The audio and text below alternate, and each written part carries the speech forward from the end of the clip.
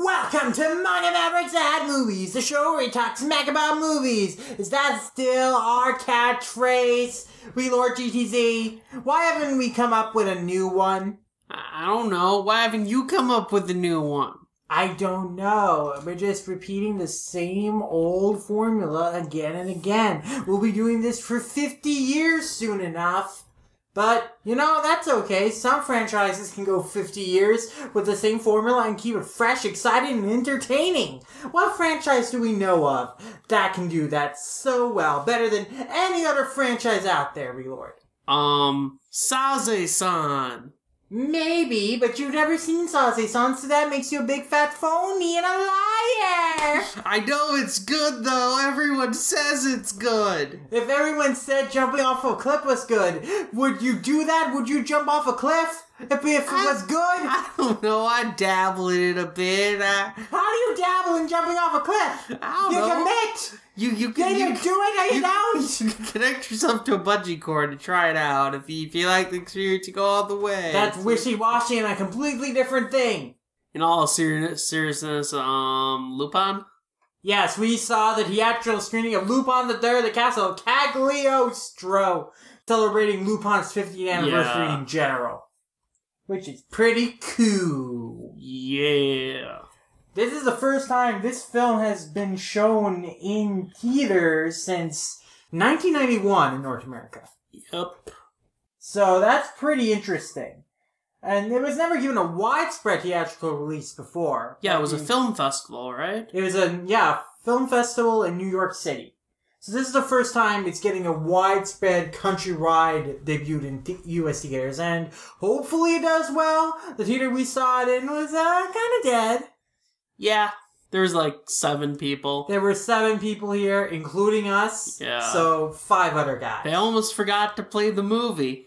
They did. They did. Uh, luckily, it wasn't too bad. It wasn't like Ancient Magus' Bride, where we were waiting like twenty goddamn Well- minutes for well, that, that- to start. That that wasn't their fault though. That, that was wasn't like the same theater, but you know what I mean. It wasn't one of the worst experiences we've had. even, even that though. They started the thing. It's just that the tape had twenty minutes of those ads, and they Sure. yeah. But with this, you know, we almost ran into the same problem because they started the Fathom Events, you know, tape. Like the tape Yeah. that has this movie on it. You know, it has 30 minutes of pre show, whatever bullshit. yeah. That has, like, the Fathom Events guy, like, hyping you up. Apparently, it was just a bunch of, like, oh, enjoy this movie that Fathom Events is proud to show you. And it's just repeating that same message again and again. It wasn't really showing us anything. It wasn't really showing us any previews. Nothing that the Fathom Events guy, you know, promises at the beginning. It was just, like, repeating the same, like, graphic scrolls. But luckily, they curtailed that. They stopped it.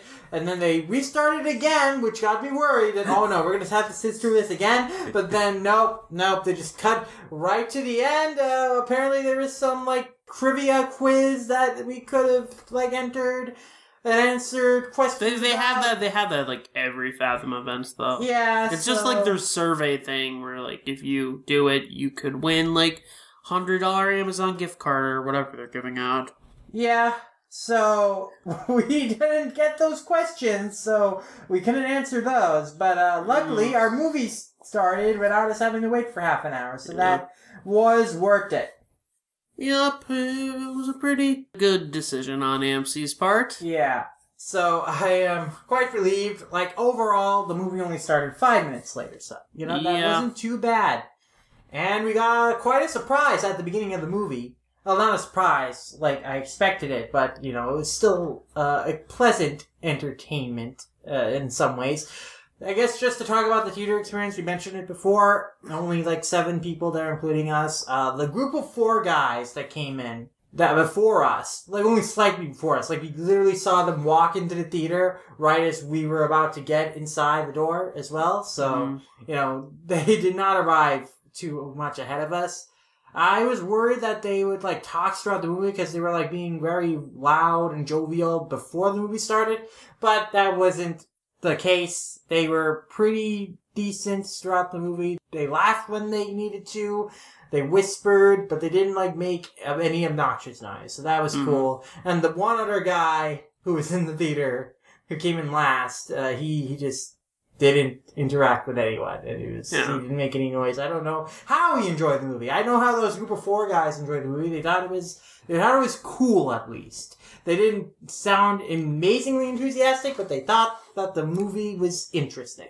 And they asked their friend who actually had seen the movie before, or at least knew stuff about Lupin, like what Miyazaki did on the franchise exactly. And they seemed like pretty interested in what part four was from the clips that they showed of that at the end. So hopefully this movie Yeah. turns some guys onto Lupin. Yeah, I know. I know the one guy that he was with. He was planning to go to both screenings. Like well, the that one guy yeah. brought his friends to the theater, Yeah. obviously. So he, he's the Lupin fan among them. He's the one who really cares. at the very least, he's a weep who likes seeing Yeah. things both dubbed and sub, and just likes watching anime. He's one of the five Lupin fans in Minnesota. Because yeah. apparently there's very few, according. Well, the seven if you're talking about us too. Yeah, I Are you guess. Not counting us as Lupin fans. Uh, okay, yeah, seven. Well, Lupin. wait a minute. Actually, you might be right about that. But no, you you say maybe four then? We don't know about that other know. guy. I don't know. I, I was joking because of the fact that when Sonny Strait came to Anna Minneapolis a few years back, he had a panel and asked how many people had seen Lupin, and only one person raised his hand. I this is something that really bothers me, and this is a conversation that we've been having in regards to the ratings of Lupin on Toonami. Is that like how do people not know Lupin? Like in some respects, yeah, I know why people don't know Lupin. It's an old franchise. It's not the kind of anime that most anime fans gravitate towards. But it's also like one of the most popular and long running franchise. How do you have you not come across Lupin if you've been in this community for you know more than a year? I, I, I think the thing is, is that a lot of like people watch anime aren't like hardcore fans or people who really seek out new anime. Like a lot of people will just like hear word of mouth from like the people who do do that, which are far and few, and be like, "Oh hey, One Punch Man. Oh hey, Death Note. Oh hey, FMA. I'm gonna watch these." They're not gonna look for stuff like Lupin because Sure, Lupin is talked a lot on like Anna Twitter and the more hardcore anime areas of the net, but in casual conversation it doesn't show up because it's not as I guess visible among the mainstream. I guess so. I mean, I guess that's how we used to be when we were like young. fans. Except except for us, back in the day when we started getting into anime, Lupin was heavily a lot more heavily promoted because on like fun. If you remember, if you people remember like the old Funimation VHS tape days, the the good old days before anime was ruined by the normies. Uh, well, specifically, if you remember the days of the Funimation channel, Lupin movies used to play on that. Well, that too, but like if you remember on like the old Funimation VHSs, they'd actually promote the Lupin uh, specials that they were dubbing. yeah. Yeah, so like I remember like there was one like I forget which special it is, but it's like where Lupin is like a private eye or whatever.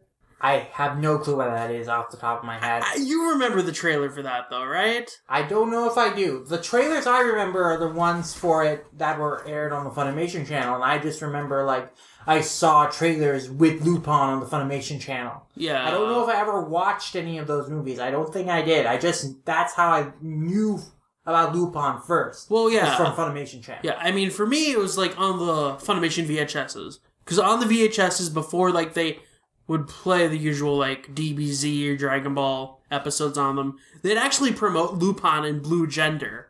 Those were like the two big ones they usually promote. I remember Blue Gender. I don't remember Lupin.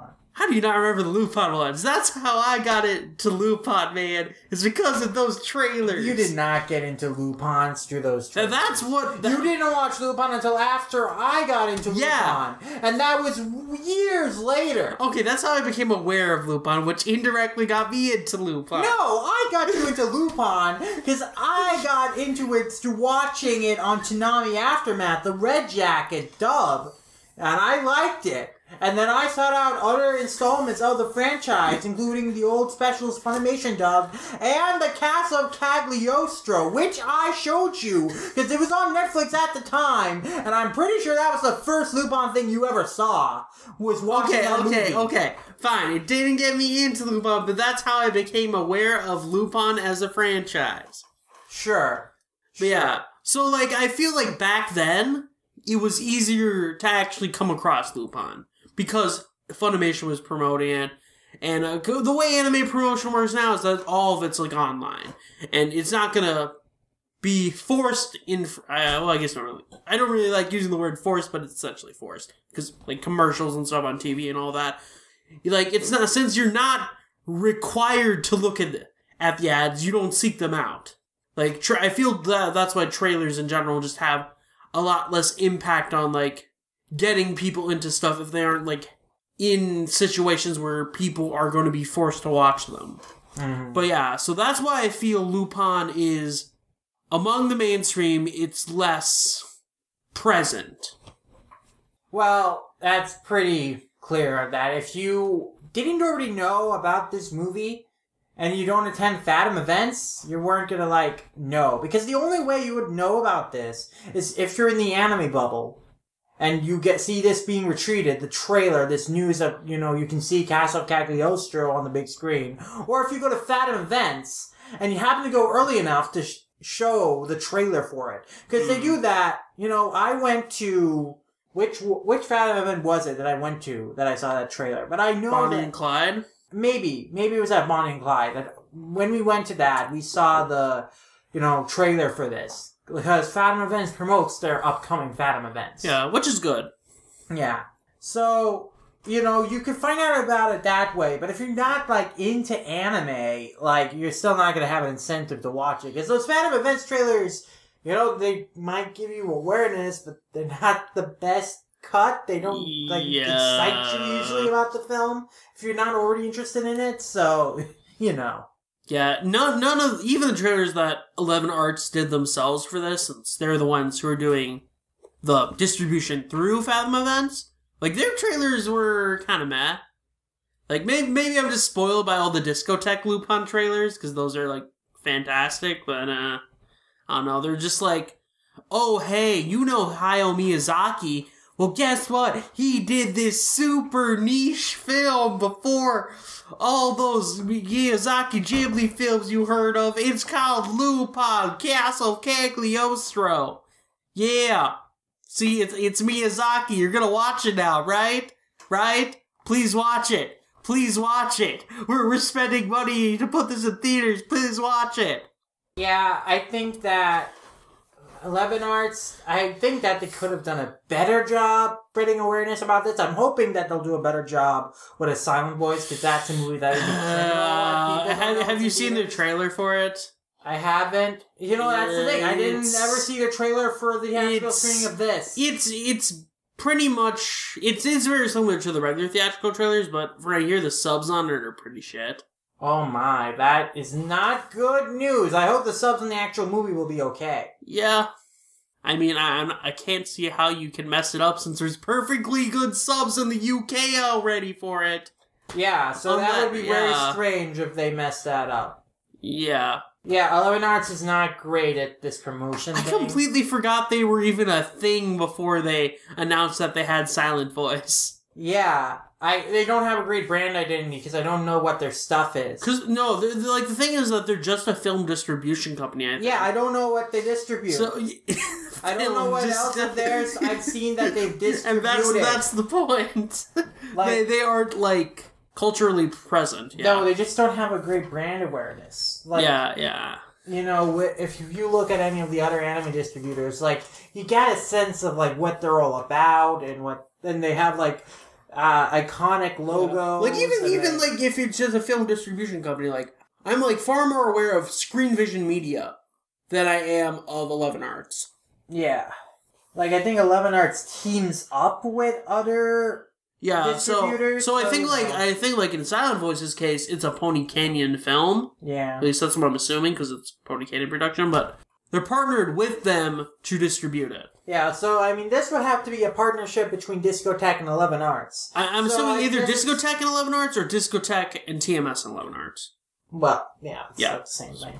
But yeah, so that's probably I don't know who to blame for the bad promotion. I know I can blame Wee Lord for making so much unnecessary noise. It's gonna be hard for me to edit out. Stop like slamming. Stop I blame- slurping your damn. He still has the no. Oh my god. He still has his freaking so- cup. The soda cup from the theater, and he's like still drinking it. You know, that's one thing is that we're actually recording this after seeing the movie for once instead of waiting like a week. But well, either way, I have seen other films that Eleven Arts have helped distribute in theaters before. Like what? Was on Panza the film. I don't even know if that screened in Minnesota. Yeah, I don't think it did. Uh, they did Digimon Tri Chapter 1. I don't know why they don't keep doing the Digimon movies in theaters. Like, this is an off tangent thing, but like. yeah, they, I saw the DVD for Chapter 2 and I was like, wait, I thought they would show this in theaters. I think they showed it in like L.A. and New York because they get everything that's said. I no, I didn't even hear an announcement that they Oh. would show it, so I don't think Uh, they did. I guess the other ones are just going to be direct to video. I don't know if that means Wait, isn't Eleven Arts doing the No Game No Life film? they might be. I think that they're involved with a lot of distributions Yeah. actually. So, and I don't know if it's Eleven Arts' fault. I think it's like the original like distributor's fault. So I think Discotek should have done a better job. I don't know. Like Discotek themselves seemed to promote it a fair bit. It was. It's just that they aren't directly involved with the film part because they're a home. You know, I guess just getting back to the root of the problem is that Lupin does not have that great brand awareness for people outside of the anime community and even inside the anime community because it's not the kind of franchise that appears to the casual or like Yeah. the younger crowd which is like most of the anime audience is like the younger like guys. like even then like I guess if we're going off another Eleven Arts film, I think Silent Voice is going to do way better, even if Eleven Arts promotes it like terribly, simply Yeah. because it's kind of a conversation name because everyone compares it to your name. yeah it's newer Yeah, Lupin though is this old franchise that yeah it has a cult following in the U.S., but your average intro anime fan who's only watching their One Punch Mans and Attack on Titans is not going to be aware of it. You know, maybe people who watch Mother's Basement will go see it because he put out a review of that, which was okay. But you know, Oh, at least he promoted. It was okay. At least he promoted it. You know, that's a good thing. Because a lot Yeah. of people, at least, might watch guys like him and go, "This is a movie." You know, I'm glad he did that. Yeah. Now, if only he'd stop making clickbait videos. He- Why but- are we talking about anime YouTubers? We, I don't care about anime. If we wanna talk right now. about the I best- want to talk about Lupin the Third, the Castle Cagliostro. Since we're becoming mainstream. No, we're not. We're, we're, We don't even have 100 subscribers on YouTube. We're not mainstream. No, I mean we're becoming mainstream anime fans. Forget about Lupin. No, that is an awful, awful thing to be. I don't want to forget about Lupin. Lupin is a classic franchise, one of my favorite anime franchises of all time. And this movie, for the longest time, I thought this would be the best Lupin movie. I thought this was the best movie. It's not movie. the best Lupin movie. Yeah, you know, we're gonna get into the film, but I definitely think that my reevaluation of the film has changed in interesting ways. But I want to go back to like what happened before the movie started and talk about the interview that the Fathom Events host. I don't remember his name. It doesn't matter. He didn't. He didn't contribute anything, Sid. He doesn't matter. Yeah, he did not offer any insightful opinions on this movie. It's completely different if you saw Star Trek II Wrath of Khan, because he did an interview with William Shatner before that. And that was like a very passionate It's- interview. Because that guy, the Fathom Events host guy, he's a huge Star Wars fan, so he was like geeking out talking with William Shatner. And he even corrected William Shatner when Shatner misremembered a story uh, he had God. about like filming uh, about an event that happened when he was filming a Star Trek movie where he was like, where he, like the set was on fire. The host of the Fathom events, he he, he said, "Oh, uh, Will, that wasn't on Star Trek two. That was on Star Trek three. you know, so that was a fun conversation because that Yeah. guy was like such a huge Star Trek nerd that he could even correct William Shatner on his own memories and assertions, and so that was a fun conversation. I, I think I think a lot of these guys that Fathom Events hires are people who very no, much know American live action films. maybe, yeah, I, I like would say that. I, I think like stuff like Lupin.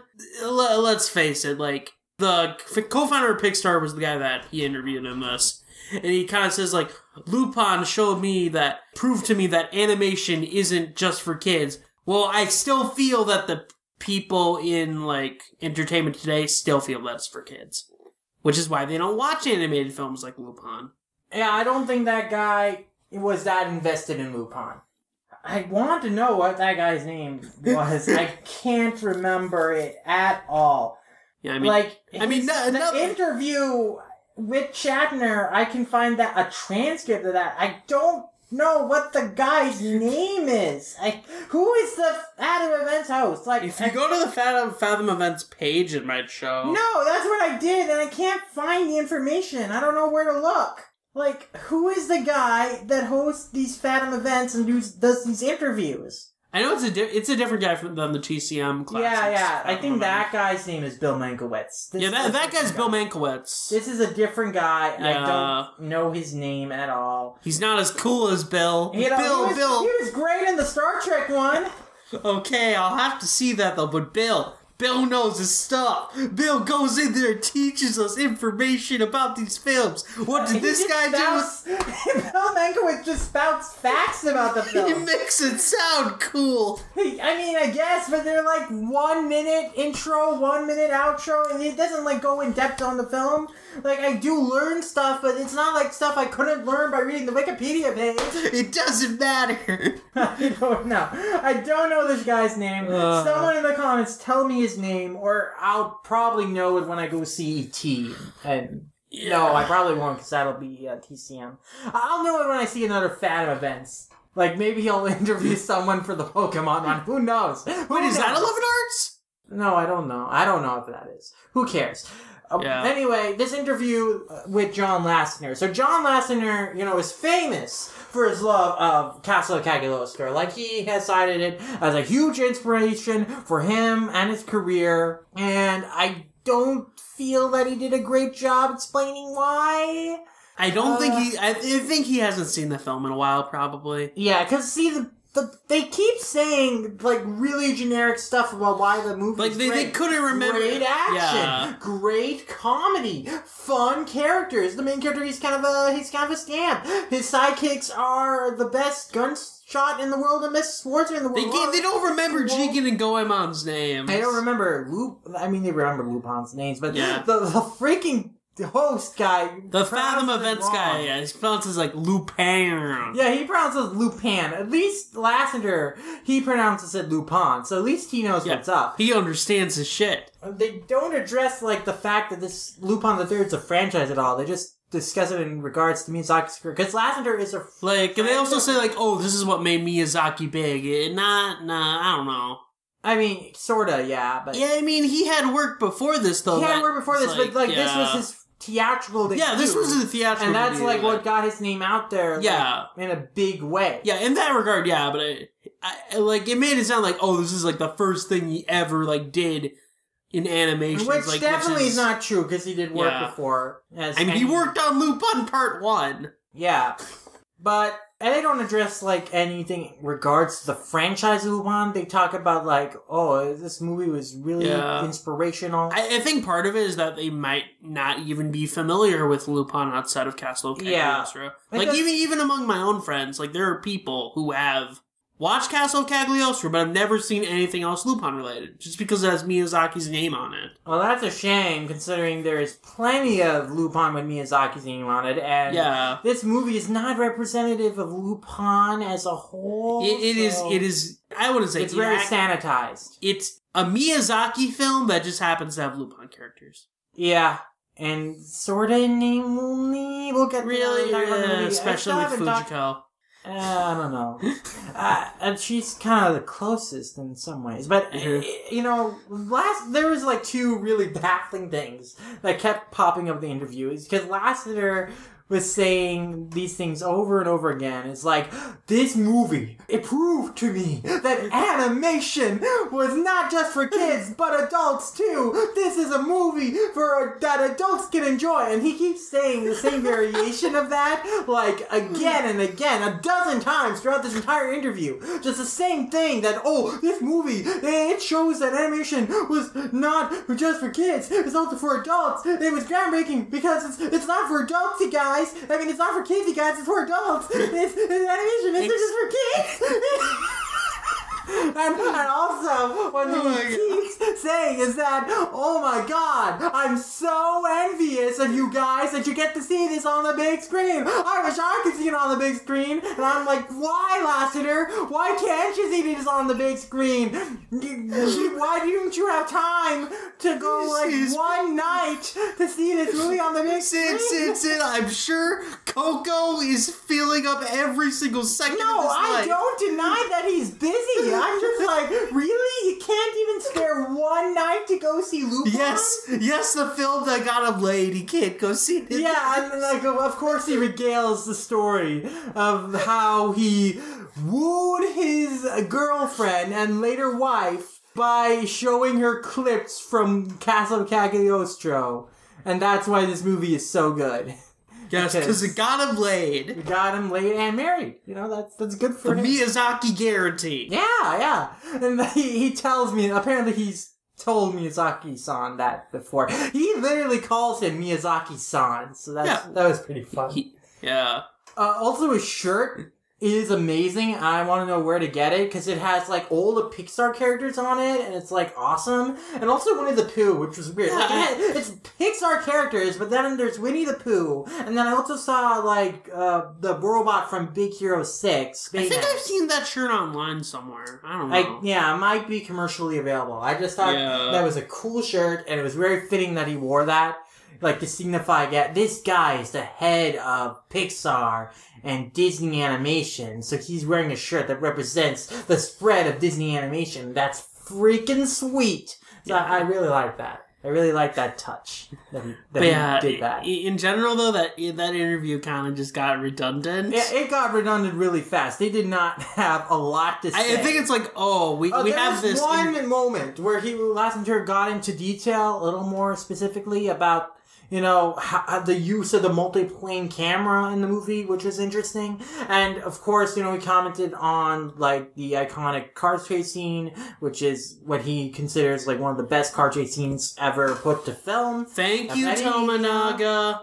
Yeah.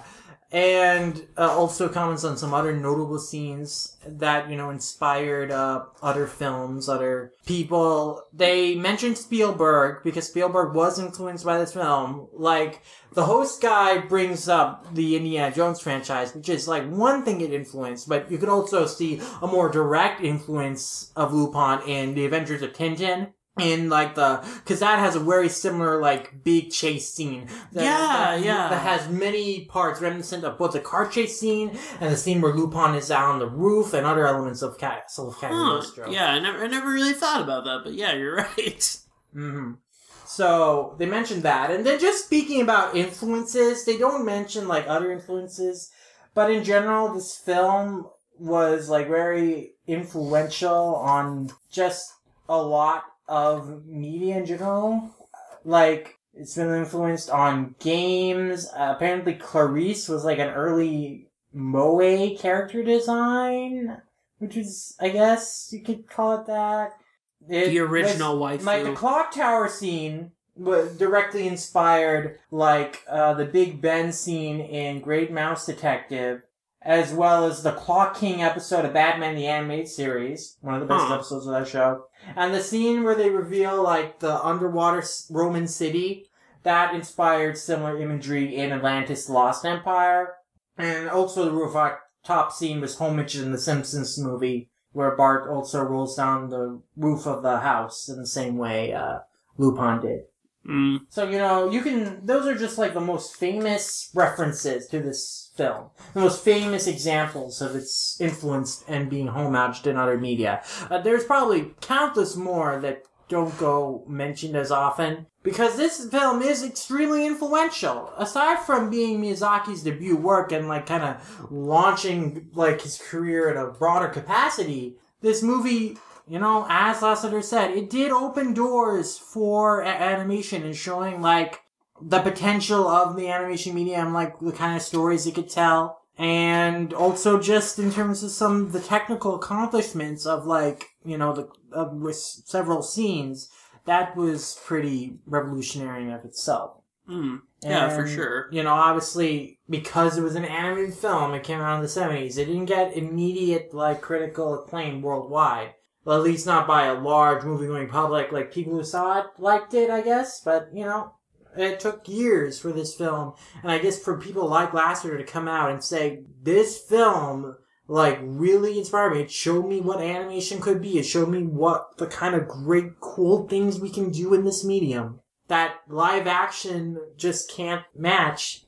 And I think that there's a lot to be said about that. I think that the movie holds a very important place in animation history as a result of that. So I think it was great that they got Lasseter, the most outspoken advocate of this movie and its significance, to come on for an interview. I just wish it was a more focused interview. I wish the uh, the host guy knew more about the movie. They or probably should have more. had. They probably should have had them watch the movie before they talked about it. I don't. You know that's not fair. Maybe they did. I, I'm just saying, like maybe It they should have had more seem like specific questions. They should have just had like more structure to that interview because they just kept saying the same things again and again, and they were like, just, it felt like they were padding it out to like ten minutes or however long that interview Yeah. was. I don't know. I'm like- pretty sure they interspliced that Coco trailer to pad it out as well. But that Coco Yeah. trailer was really cool. Uh, that was my first time seeing anything of Coco, so I am pretty interested in it. That was a good Yeah, trailer. but- I'm actually glad that they put that so I got awareness of it. Yeah. But yeah, overall, that interview, uh, of the two interview segments attached to this movie, definitely the weakest one. Definitely the one you're gonna get least the, out the, of. the end interview is people we care about. Lasseter's amazing and all, but the end part's more relevant to the movie. it's actually people who worked on Lupin Yeah. who talk about it. So we'll get to that just after we talk about the movie itself. And interesting thing about the movie is that we saw this dubbed. And it's the streamlined dub. I was so confused because it's been years since I've seen the other dub. What is the other dub? Manga Entertainment. The I had seen that before. dub. That was what was on Netflix way back in the day. That was the first time we watched it was with that dub. Uh, dub, from what I remember, was whatever. It was, It was- I think that It was uh, a solid C average. sure. Like that is the one with Richard Epcar as Goemon. Which Uh, actually, I don't think it has Richard Epcar's going on. One of them has Richard Epcar, and it wasn't the one we saw. It wasn't the Streamline one. Yeah. That did not sound like Epcar. Was that Epcar? I'm checking right now. Um, it was not Epcar. Yeah, it was not Epcar, so he was in the other one, the manga one. No, he's not in the manga one either. The manga Goemon is Michael Gregory. I thought he played Goemon in something. I'm actually gonna check that right now because I think yeah he did do it in some dub. It might have been an Asian dub, but he's mentioned before. Because Yeah. Well, either way, you know, I was surprised. I didn't realize that it was the a different dub until like they actually start calling him Wolf. Yeah, because it's like we we haven't seen this dub in ages, so I don't even remember what the manga entertainment dub sounds like. Yeah. And even if I were to rewatch the film today, since it's not the Geneon cast or the Funimation or any of those casts, I would probably just watch subbed. Well, yeah, I see. I'm not familiar with these voices for the characters because I'm familiar with uh, the Gen the Geneon dub of Part Two. I'm familiar and Part Four by Discotek and the Yeah. Funimation dub. I'm familiar with those voice casts. I'm not familiar with these one-off voice casts for these movies because they did not reprise their roles ever again. So I thought something was weird when Jigen was kept calling Lupin boss And then after like the servant guy tells the Duke like, "Oh, I there's a message from Lupin on my back," and he starts reading it, and after he d- finishes that, the Duke says, "That's the wolf." And hmm. after he hmm. says, "That's the wolf," they refer to him as wolves throughout the rest of the movie. Yeah, they never whenever- refer, they only refer to him as Lupin once. Yeah, And so it's which is- very strange. Yeah. I mean, and that's why they have Jigen call Lupin boss. Like they go out of their way to avoid calling him Lupin. Yeah, it seemed like they kind of knew, like, okay, this wolf name is just dumb. Let's try to avoid it as much as possible. No, they didn't avoid the wolf name at all. They just didn't have Jigen call him, start out calling him Wolf, so that they could say his name as Lupin first, and then call him Wolf, and then call him Wolf the rest of the movie. So his name is still Lupin, but everyone is referring to him by his nickname. It's dumb. It's strange. Uh, and yeah, the whole Gene calling Lupin boss, that really, the things about this dub that bothers me is Jigen calling Lupin boss because that's not their relationship at all. They're partners. And Jigen does not think of Lupin as his boss. So that, you know, bothered me just on like a characterization level. And then obviously they add dialogue to scenes that didn't have dialogue, to moments that didn't have dialogue. Luckily, they don't do it for every scene that's dialogueless, because thank Lord, uh, they kept some quiet moments in. But like, they added dialogue in very unnecessary places. Like, when Lupin is like, has been shot, and he's like on the roof, and like Fujiko is like, you know, trying to help, but she notices like there are guys on both sides. Like, they add in the line where she says, oh, I'm surrounded. And it's moments like that where they add in dialogue that's really obvious to us, the viewer, because we can Mhm. see, we have eyes, this is a visual medium. But they add in dialogue to, I guess, clarify things to you. Like, it's so It's unnecessary and like, yeah. like, I'm assuming they didn't use the other dub because of, like, some, like, theatrical rights reason. Because, like, Some licensing reason, I'm sure. Some like there's there's no way they unless like Eleven Arts somehow thought that people had nostalgia for this dub, which I don't think. I think it's like generally accepted that the manga entertainment dub is the good dub. Mhm. Like people in general do not like Streamline's dubs. Like the Kira Streamline dub is notorious for being bad. Yeah. And then another thing, a huge scene is like changed in terms of like the message communicated to when Lupin is first meeting Clarice, because he used he used very blatant dialogue saying, "I'm here to help." Like his first line to Clarice is like, "I'm here to help you with your permission." That's not what he says in the original. What he says is like, "I'm here to steal you away." You know, he uses metaphors of stealing her. Not that you know he's going to be her hero. Like he does eventually say that he'll be her knight and whatever, but first he keeps up like these teeth illusions and that whole gimmick. So that it's like changes the character of him and of Clarice because they add like dialogue. They, they change the dialogue of Clarice so that she's like even naiver than the original because she's like, "Oh, I, you're too kind." Oh, she, it's like really lame dialogue where she's like falls over Lupin immediately and like really acts even more like a damsel figure than even in the original, which is very strange. I did not like those changes in dialogue that like really messed up both Lupin's and her characterization. But overall, in terms of performances, I think that all the main actors did fine. Uh, Goemon's voice was a little weird, but everyone else's voice was fine, and everyone like the guy who does Zenigata, he was great. Yeah, He he, he, he, was the best. Um, among everyone, he was the best. Worst wise, it would probably be Fujiko. I really didn't like Fujiko's voice. Maybe it's because I'm just spoiled by Michelle Ruff, and she's kind of become the go-to for yeah, like Fujiko. but that's Or- fair. I, I thought she was fine though, especially in the scenes in the church where she's playing the newscaster. You know, Yeah, over time it grew on me, but I don't know. It felt just a bit too deep for me. yeah. I think the Duke's voice was also really good. Yeah, Duke Duke's voice was good. Yeah, who did those voices? I wonder. I know, like the people who did the David Mainly- Povall did uh, Zenigata, and he, you know, another weird thing is that they mispronounce Zenigata's name. They call him Keibu Zenigata. Keibu means inspector in Japanese, so I don't know. I guess they got his name wrong. Yeah. very they- weird. It was a very weird mistake, but I guess that's uh, early '90s dub for High you. quality streamlined dub. So the guy who played Zenigata has only done stuff for other uh, streamlined dubs, apparently. And let's see who played the Duke. I think they call him the Duke in this one. So yeah, the guy who played the Duke, he's the narrator in Bobobo and Hunter Hunter. That explains why his Holy voice shit, is so one of the, familiar. he's one of my favorite characters, the narrator in Bobobo. That explains why that voice felt so familiar. It was like, huh, I know I've heard this guy before. Oh, and like, he's done oh, so much. He was Schwarzwald and Big O.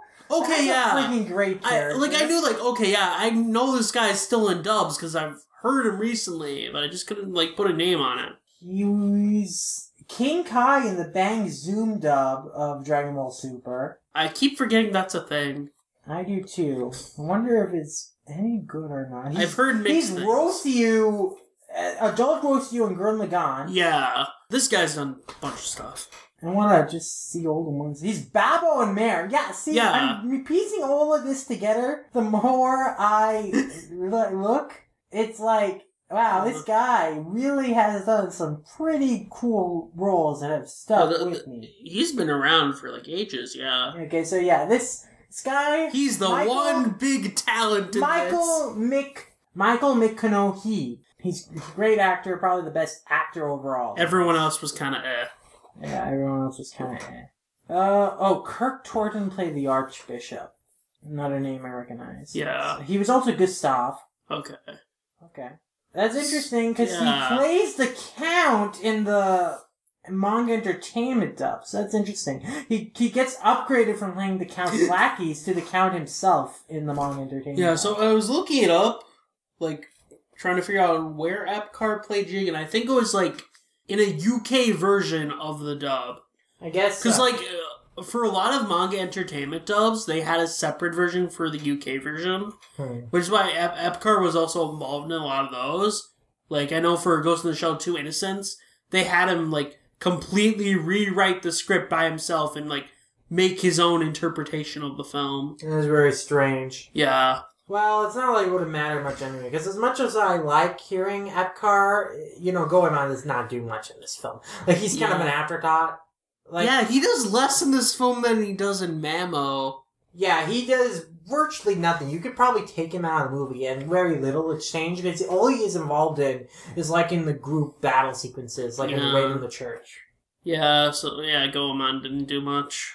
Yeah, and Fujiko at least like was involved in helping uncover the conspiracy. Like she helped Lupin and Clarice escape uh, on the roof, and then she got both Lupin's gang and Zenigata to get her to get in on like stopping the wedding at the church.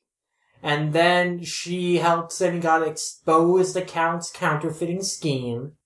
And then she stole the plates, the printing plates Mm. For herself. So like she did a lot in this movie when you think about it, because like she was the linchpin in like saving the day, and she got what she wanted at the end too. So that was pretty good of her. Yeah. I have like uh, mixed feelings about this interpretation of Fujiko.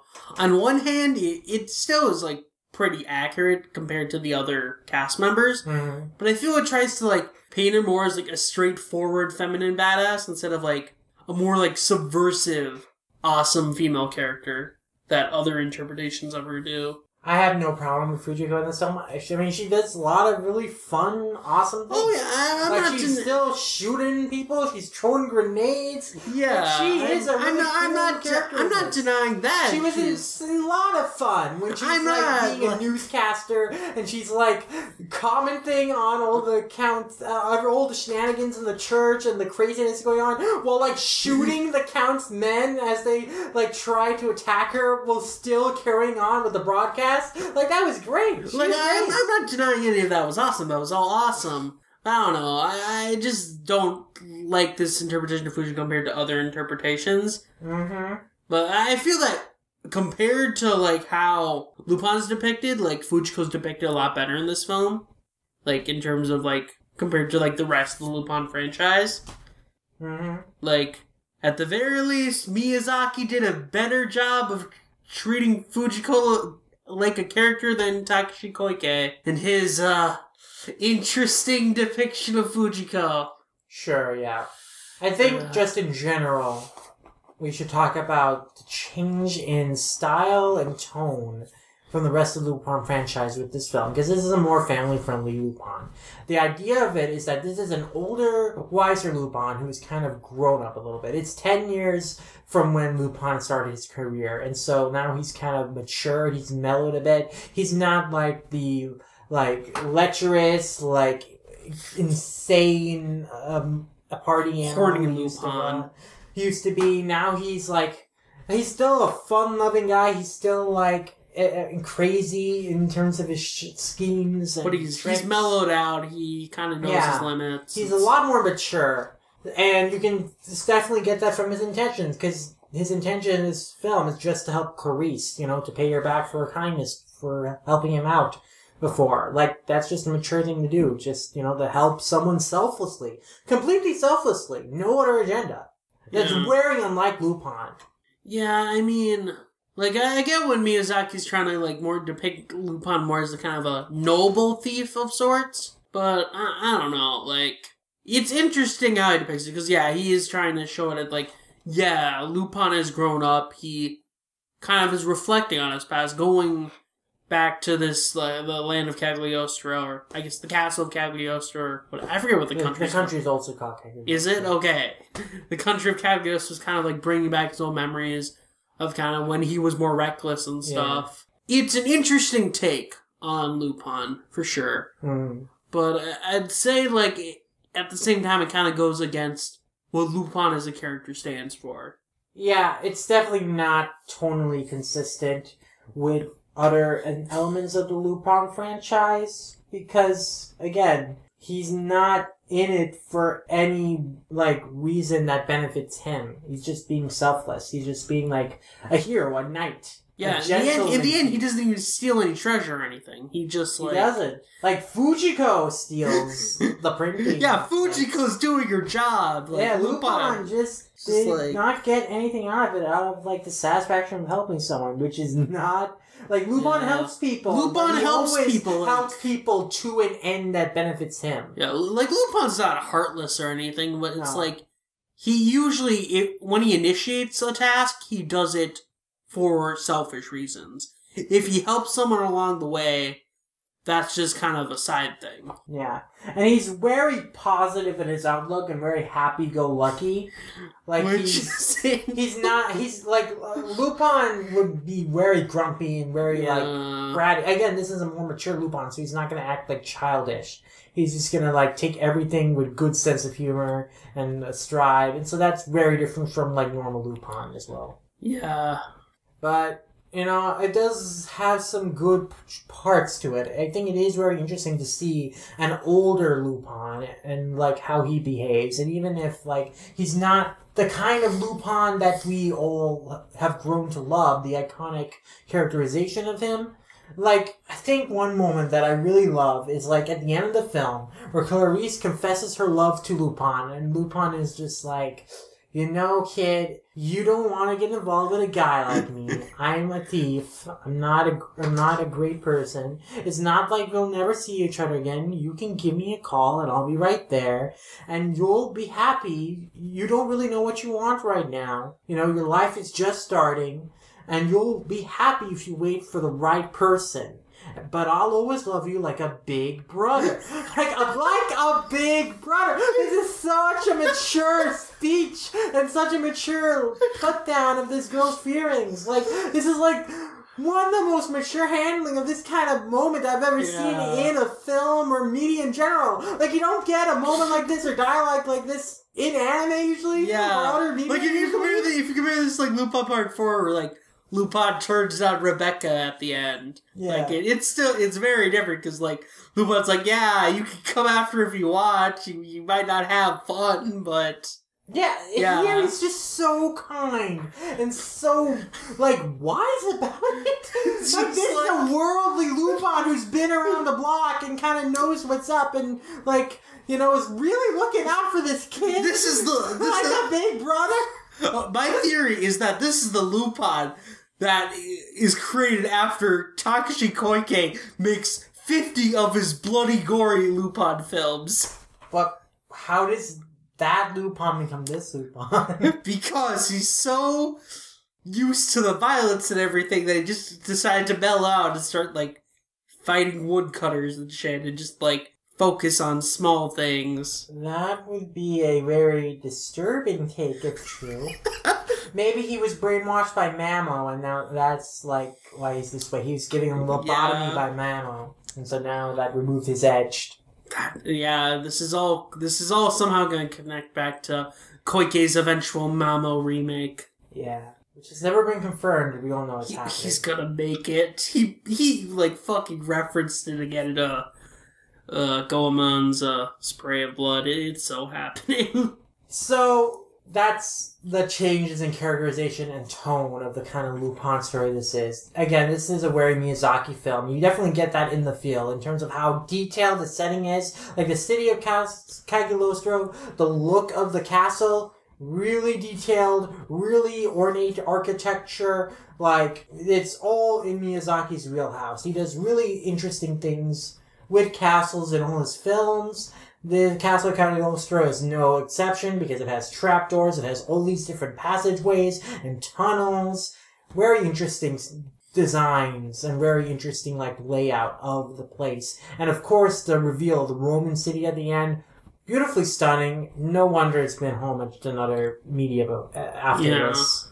yeah, I mean, like like I said before, it's a solid Miyazaki film that just happens to have Lupin characters. Yeah.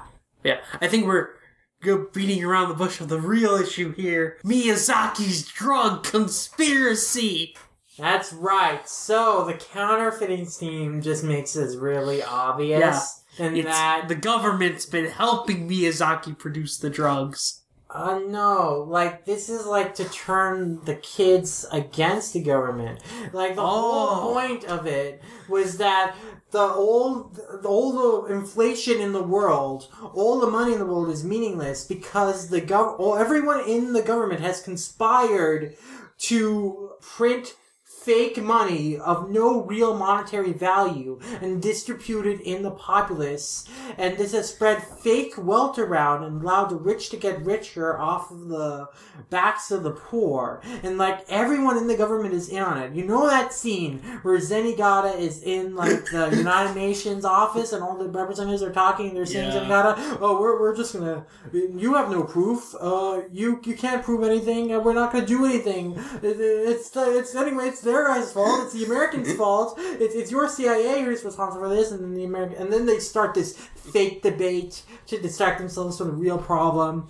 But, yeah, and then later when they see on the TV that Zenigata has exposed it, they're saying like, oh, well, we can't cover this up. You know, through these scenes, Miyazaki is saying that your world leaders, you can't trust them. They'll lie to you. They're incompetent, and they're infl- and and they're the reason that there's so much inflation and why m- money is increasingly being worth less than it used to be, and why like we're increasingly getting poor. So Miyazaki is using this film to turn you against the government. And then turn you on to drugs? Yeah, see, because he's gonna now that he's exposed you to the lies of the government, now that he's made kids mistrust the uh, mistrust like the guys in charge. Mistrust. They're gonna start mistrusting your parents. Gonna be, they're gonna start mistrusting everyone. But you know who they're gonna trust? The drug dealers? They're gonna trust Lupin. They're gonna trust the guy who came in looking out for those innocent young kids and stole their hearts away with trilling humor and adventure. But Lupin. Who is the man behind Lupin in this film? Hayao Miyazaki. Lupin, as a character in this film, is a metaphor a stand-in for Miyazaki himself. he is subliminally brainwashing you Oh to God. love him and be as dependent on him as Clarice is by the end of this movie. That is the whole point of Clarice falling in love with Lupin. Oh god. Clarice is the children of Japan, and henceforth the children of the world. Oh my god. So, as the first step in Miyazaki's master conspiracy to brainwash the youth of the world, he's using this movie to make them lose trust in their government, in their parents, in the people who supposedly are out to protect them, but really are not. And to put trust in him, the fun-loving guy who'll entertain ya, who'll be your knight in shining armor, the animator with a heart of gold, Hayao Miyazaki. my mind has been blown. Yeah, you never thought to think of this movie that way, but it's the truth. This is the, where it all began. Uh, this this conspiracy's going too deep. Soon Ghibli's gonna come and hunt us down. They don't want us to uncover what's gonna be in their next film. Well, we're going to uncover it. The next film is another significant one. It's Nausicaä.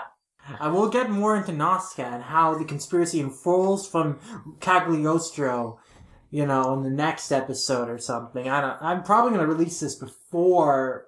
Are any of are any of these Miyazaki? No, none of them are out yet. I'm going Oh. to release this probably before any of those are out, so all the people in the audience are going to be like, what are they talking about? Miyazaki conspiracy? Drug dealing? What is this narrative? Yeah, so this has been something me and Weelord have been digging deep into since these Ghibli movie screenings have began in June. We've realized that there's like this huge, huge conspiracy where Miyazaki is like promoting drug use and getting children addicted on drugs drew subliminal messages in his movies. And uh, yeah, we're gonna expose him to the world. And we just told you how this movie fits into all that. That's the beginning of Miyazaki's theatrical film career. It's getting kids in, to trust Miyazaki over their authority figures. Miyazaki does drugs. Well, he peddles drugs to children through his movies. Yeah. Yeah. Let's see. what else in regards to this film do you want to talk about? Oh, just in regards to the story. So, yeah, this is a very basic kind of story. Again, uh, as Monkey Punch puts him himself, it's very much a knight saves a princess kind of story. Very straightforward. Black and white, evil, good. And yeah, what makes the movie interesting is just like the location and like How it's animated. the set pieces. Yeah. So it's like the execution that makes it, you know, work as a movie. Yeah. But in terms of the just basic story, it's nothing that special. And especially because the characterization of the Lupin gang are so different. Like, it's interesting to think about Lupin as grown up, but like, in terms of like actually being interested in like the characters and how they're used, aside from Lupin, they don't get out. Uh, oh, Zenigata gets great moments for Yeah. sure. But aside from Lupin and Zenigata, like everyone else feels kind of like an afterthought. So it's not like great on the character front because Clarice and the Duke are also like nothing special. Yeah, what definitely makes this film special is the production. Like, if narrative wise, like uh, narrative wise, like the other Lupin films are stronger for sure. Yeah, and of course, there's a big hole in this movie in that if the Count, if all he needed was the rings, why did he have to marry Clarice? Especially Yeah, if he was going to kill her in the end anyway. didn't. Like, so he didn't need to marry Clarice. at Could have just killed Clarice right away. or he could have just stolen the ring just earlier. He didn't need Clarice to give like I, I her like the ring. He should have just taken the ring. He didn't need to marry Clarice. He didn't need her to be a part of anything. He Like I guess that brings himself. the thing of oh wait well when people knows Clar- Clarice is gone like no just he he could cover it up Yeah, he could do that, or he could just not kidnap or interfere with Clarice at all. He could just like steal the ring. yeah just have That's some hire some random burglar to steal the ring and then cover it up it's easy Yeah, it would have been easy. So and then he just have to remember not to like fucking stand between the two hands of the like clock so that he doesn't die yeah, so like why whole- did he jump He could have jumped. Lupin survived. Yeah, I don't know. Like the whole thing about him wanting to marry Clarice is just to make the audience hate him more and to like keep Clarice away from Lupin so she can be Yeah. rescued in the end. And yeah, so still the whole like he wants to marry Clarice thing is just it's to dumb. characterize him as an incestuous pedophile. And uh, that's, that's that's those are evil characters. And remember, he's an authority figure. He is the king of Cagliostro, right? He, the your authority figures, the people in charge of the government, they're lying to you. They're not out for your best interest. They're going to exploit you. They're going to make you marry people you don't love, and they're going to like essentially rape you. The So, only person you they're can going to trust. steal from you, and they're going to rape you. The only person you can trust is Miyazaki. Yeah. And, uh, oh, looky here. Uh, here's some special candy. So, some special fruits that were grown from Totoro's garden. Why don't you partake, kids?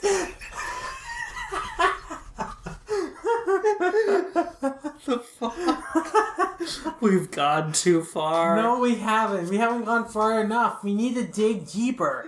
But I want to just talk about this movie as a movie. So, again, as I said before, I it was a feel that this was my favorite Miyazaki film and my favorite Lupin movie. But after rewatching it today and with like more critical eye placed upon it, there are amazing scenes in this movie, but this movie also shows its age in various areas. The animation in some scenes is a little choppy, like the pans are especially like choppy, and that's very distracting. Like backgrounds, backgrounds are beautiful. Oh yeah. Cell shading, excellent. Like there's a lot in this movie that like is really stunning visually, but there's in term, but like not the whole production is like consistently great. There are moments that you know are not up to the standard that you'd expect. And also, again, speaking narratively and speaking like as an installment of the Lupin franchise, like it's not, it doesn't embody the best of Lupin. Like, I don't think it embodies the best of Miyazaki's filmography either. And I just don't think it's like one of the more interesting like stories that's either been done, told involving Lupin and told by Miyazaki himself. Like I know people say like, oh, if you want to get into Lupin, start with Castle Cagliostro. I think that is a good like I- introduction and just in terms of like getting you interested because there is like in interesting like scenes there's it's like a really well made film and it has At great historical importance it's left a great legacy behind but does it embody yeah, the best that- that's that's what I was don't gonna know. say. Because at the same, it's a great film and all, but at the same time, will watching this film like reflect like uh, I guess will it watching this film like give you the same enjoyment you'll get out of actual traditional Lupin animes? Like, yeah, Miyazaki did direct part of Lupin Part One, but Lupin Part One still feels very different from Castle Cagliostro. Same with the other like mainline parts and the films and the specials. Like there are many different interpretations of Lupin out there, but Castle Cagliostro is kind of like in its own little bubble. Yeah.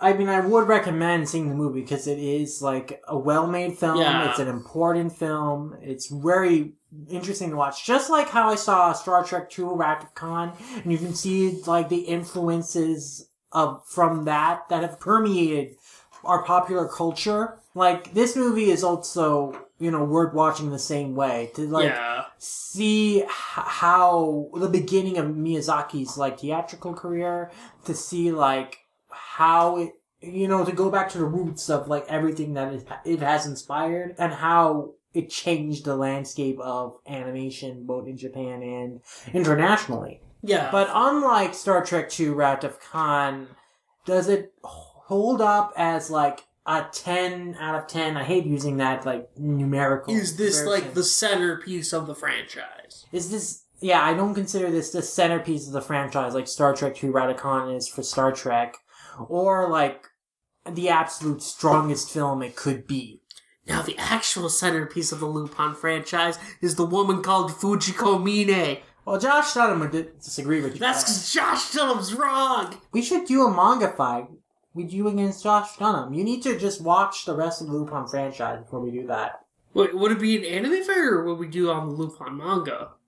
We could do it on either. Actually, it probably Actually- have to be more on the anime Because yeah, I don't think I don't of- think Josh owns the manga. I mean, in the first conversation I ever had with Josh, we argued about Lupin. Because uh, I don't know who brought it up first, but like, he was complaining about the woman called Fujiko Mine, and then we got into discussion about like its merits, and like, I made a comparison to the manga at one point. He said, You know, it's nothing like the manga. There's no like character called Fujiko in the manga. And I'm like, Yeah, there is. And Josh was like, No, th- there isn't like a single unified character called Fujiko. There's, it's, it's, there's no consistent characterization. It's just like a design that shows up again and again. I'm like, no. I mean, at first there isn't a consistent Well, yeah, Fujiko, but like if you read the later volumes, like that's uh, Monkey Punch does like create a Fujiko character that remains consistent for the rest of the series in the same way that Jigen and Goemon become consistent for the rest of the series because Jigen also in the like in his first debut is not affiliated with Lupin. He's like a completely different character. Yeah, like, it, uses his design. It's like so we got into, so we got into a long conversation about that. First time we ever, I ever talked to Josh. That was a that was a fun conversation. So yeah, we should talk with uh, Josh Dunn about Lupin sometime. I don't know if he's listening to this podcast, but uh, uh, anyone who knows Josh Dunham, tweet this out to him and say that we'd be game for that. Actually, I'll just ask him myself one day. Who knows? who knows when we'll get around to that? Yeah, if you want to get into Lupin franchise, Castle Cagliostro is a great Miyazaki film. Yeah. Lupin film, eh. I'd say if you want to get into Lupin, start with part two or part four. Is it Miyazaki's best work on Lupin? I'm not sure. No, it's not. Like, what would you say is between part one and part two? Hmm. He didn't. Did he work on part two? I thought he only He did on- like two episodes where he was. Like, Oh yeah, director. yeah, I remember those. Episode 145, episode 155. I haven't watched those episodes in ages. I remember them being okay, but I think his part one, the episodes that he directed in part one, were a lot stronger. Okay. At least from what I recall. Yeah, so maybe watch part one if you want like a true to character Lupin experience that still has Miyazaki's touch on it. Yeah. But you know, our theatrical experience did not end with this movie because there was another interview uh, segment after the movie. Ended. Yeah, which was way better than the first one. It was because it had Monkey Punch and Tomonaga in it. Tomonaga being the animator who did the iconic car chasing in Castle Cagliostro, as well as served as series director for Lupin the Third Yeah. Part Four. Ba- basically, Tomonaga is what is who's essentially helming mainland Lupin going forward. Yeah, he's gonna be on Part Five as well. Yeah, it, it's assumed right now that he's going to be on part five as chief director. Yes, and that this was a great interview section reflecting on, you know, their work, the conception of the film of Cagliostro, and why they think it stood out. And, you know, Tomonaga name dropped several of his co- co-workers, fellow animators who worked Yeah. on the film. What what I find interesting is that he never talks about the specific scenes that he did. Like he mentions, oh, the car chase and stuff, but he never says, oh, I did this scene. It's like, He's very humble. yeah, he's humble, which I thought, oh, cool. Like everyone who's like more versed in like the Lupin fan base knows that. Yeah, the car chase scene is Tomonaga. hmm But yeah, it was interesting to see like, oh, oh hey, he he mentioned the scene like it's kind of important within the production, but he when he's talking about, it, he's mainly talking about Miyazaki and how he was involved. Yeah, and so they make very great comments about like some of the most interesting parts about the production of the film, as well as what makes the film like so memorable. It's a film that more times you see it, you get more new things out of it, and I certainly think that's true in my Mm. experience having seen this film a number of times. And also that even though the story is very archetypical, it, the execution makes it stand out and memorable. Yeah, Mo- Monkey Punch's comments in general were I thought they were very insightful because Monkey Punch like nowadays is not really as involved as he was early on. Like yeah, he's I'd say like most of his involvement kind of died off after part one, like early part one. I mean, he's kind of like the Jim Davis of the manga world. Yeah, like he, like you know how like Lupin, the Lupin movie Dead or Alive Yeah? is uh kind of credited as oh written by Monkey Punch, but in interviews Monkey Punch is like yeah after kind of the intro scene I kind of just sat back and just watched them do their thing. Uh huh. It's like yeah he's he's kind of just there like he he still does his own mangas like there are a bunch of like Lupin sequel mangas that he still has a writing role in. Though I think the artists that work on them also have a lot more writing input now. Mm-hmm. But yeah, it was interesting, like seeing him comment about Lupin now, like in the anime medium. Like, uh, what really like struck me is that when he started talking about newer Lupin was Blue Jacket in particular. He said the Blue Jacket era is the closest to what he envisioned Lupin in anime to be. A series that still embraces kind of the whole wacky, kind of fun parts of Lupin that he had in the manga, but still tries to tell Mature kind of a mature story, which is what Part Four does, which what is well, what Koike does, even though he kind of does it in a very Mhm. different way. Well, it was interesting to me that he commented, you know, the original manga was for adults, but with the anime, they wanted to also make it appeal to children. Yeah, And so what was interesting is that he's by saying that part four was closest to his original vision is not saying that it's the closest to the manga. Yeah, it's not the closest to the It's manga, it's closest to his vision of the balance between Yeah. a Lupin series that can appeal to both adults and children in terms of the balance of its storytelling. yeah. Like I I think the Lupin manga, none of none of the anime is perfectly replicated because it's Yeah. very it's very much its own thing and a very I mean, much. actually, maybe Koike's Lupin sort okay, yeah, okay. Koi- Koike's Lupin. Actually, yeah, even uh, more so than Fujiko Mine. in both the good ways. Yeah, in and both the good ways and the bad ways, and that's Oh, why I think God. it probably is like Maybe Koike's a really huge fan of like the original Lupin manga. No, I mean it's those films are Koike doing his own thing, like uh, playing Yeah. to his tastes, but So they just happen to align with Monkey Punch's tastes. yeah, I I have some choice things about that. Mixed but, uh, feelings, no doubt. Yeah, I- Koike, I love your action scenes, but but please treat Fujiko better. Yeah, Please, you're a sequel to the woman called Fujiko Mine. yeah.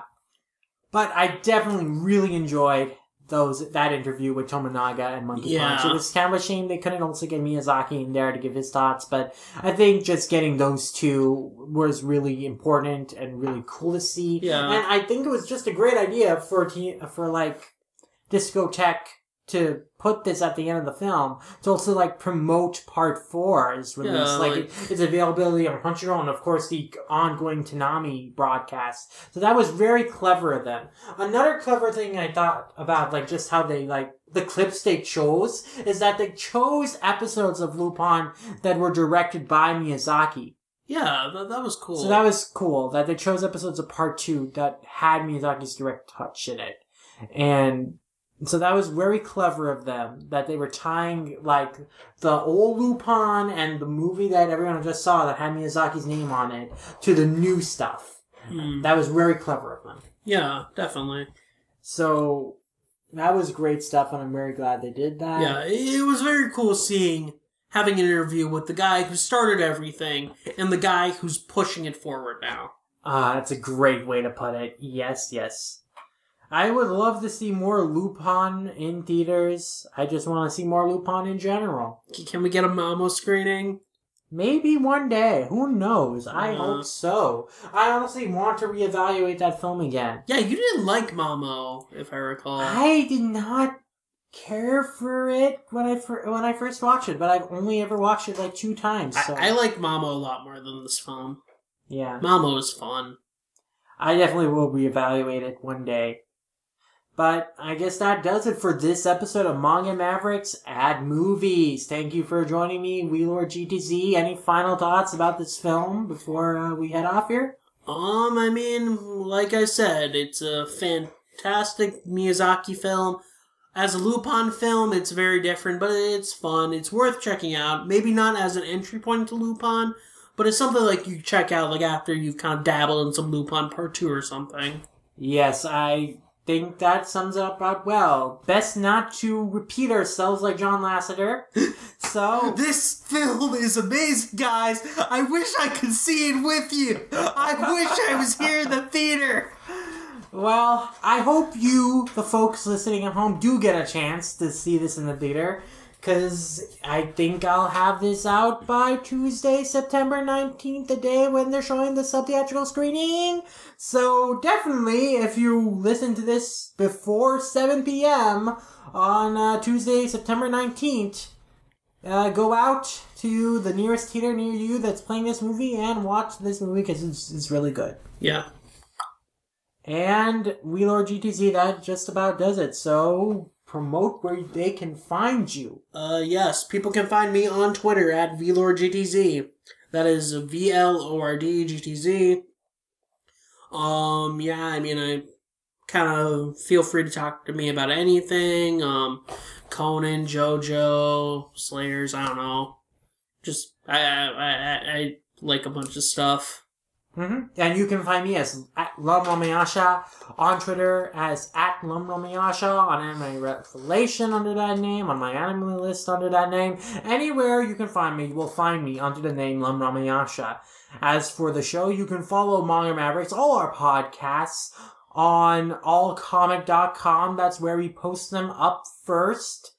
Then you can also find our accounts on Twitter at manga underscore mavericks, on Tumblr, mangamavericks.tumblr.com, our YouTube page, Manga Mavericks. Just search for it, you'll find it. Remember, guys, we need a hundred subscribers to get that custom URL. So please subscribe and like our content on there. That really helps our channel grow. We're also on iTunes, and any ratings and reviews would be greatly appreciated. That also would really help the show out. And if you want to contact us, send us any feedback, suggestions, share your thoughts about Lupin the Third, or anything else that you know you are watching or reading lately related to anime and manga, you can send any of that to manga mavericks at gmail.com or post in the Manga Mavericks thread on Animation Revelation, or again, tweet at us at manga underscore mavericks on Twitter. And we love hearing your guys' comments and we love hearing your feedback. And yeah, that does it for this installment of Manga Mavericks at Movies. And we gotta keep digging into this Miyazaki conspiracy. He's gonna hunt us down, man. He's Wow. gonna hunt us down like, like cattle. Yeah, they're gonna, he's gonna like tie us up, uh, on the hands of a giant clock tower and we're going to get crushed to death like the Duke of Cagliostro. God. Yeah. We've gone too far. We've gone too far. I contend we haven't gone far enough, and we'll see why when we dig into the, how the conspiracy develops in Nazca. Nausicaa. How it develops in Nausicaa. It's very. I'm very tired. I've had a long day. Yeah, it's, very like late. right now. It's like 11 p.m. Yes. I still have homework to do. Yeah. So sayonara Later. if we're still alive.